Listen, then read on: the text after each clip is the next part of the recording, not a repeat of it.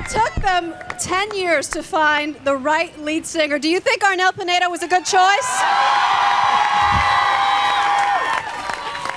You were living and working in the Philippines when you get this call. Come be in our band. Did you think you were dreaming?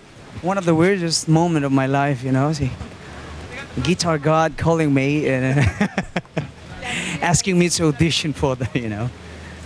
And why did you why did you like him? Why did you choose him?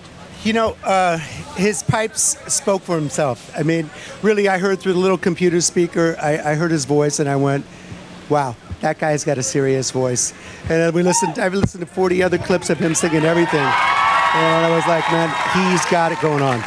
I have to say, you you do sound a lot like Steve Perry. Do you mind the comparison? Oh, I don't mind. I don't mind at all. He's my, you know, he's my hero. He's one of my, he's one of my influence, you know.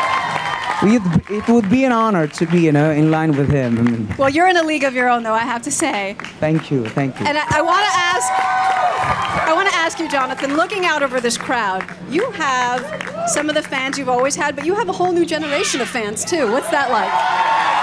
It's great. Uh, this is truly, um, you know, a sort of a phenomenon that started back in '98, and uh, I think this song "Don't Stop Believing" uh, has brought many young people to us, uh, and we're we're happy to see you all here.